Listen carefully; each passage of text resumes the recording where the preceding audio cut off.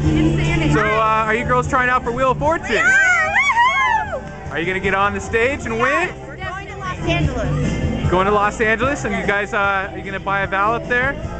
Yeah. Solve the puzzle? We're gonna solve the puzzle and go to LA and be on Wheel of Fortune. Do you have the energy and enthusiasm it takes to be on the show? I do, yeah. All right, bring it up on stage. Thank you.